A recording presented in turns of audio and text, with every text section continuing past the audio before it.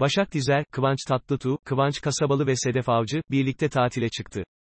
Yakın arkadaşlar Azmak Nehri'nin soğuk sularında birbirlerini fotoğrafladı.